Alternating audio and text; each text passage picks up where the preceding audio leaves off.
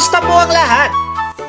Sa aming mga magulang, magsisimula na po ang early registration o paunang pagpapatala sa lahat ng kinder, grade 1, grade 7, at grade 11 sa bawat pampublikong paaralan ngayong March 26 hanggang sa April 30, 2021. Pinapaalalang tingnan ang bawat Facebook page ng bawat paaralan sa hotlines na maaaring tawagan para sa ating pagpapatala. Remote enrollment ang gagamitin upang masigurado ang kaligtasan ng bawat isa ay ating maprotektahan.